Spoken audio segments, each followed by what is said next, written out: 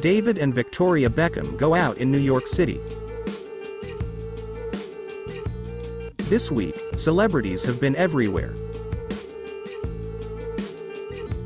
From Justin and Hailey Bieber expressing their support at Victoria Monet's LA event to Victoria and David Beckham enjoying a date night in New York City.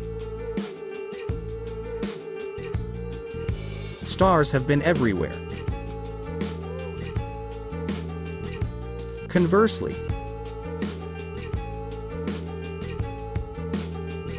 S Club began their comeback tour in Manchester's AO Arena.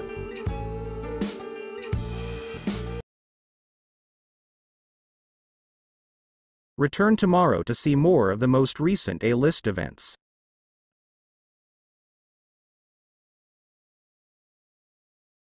The greatest pictures of celebrities spotted this week are shown here.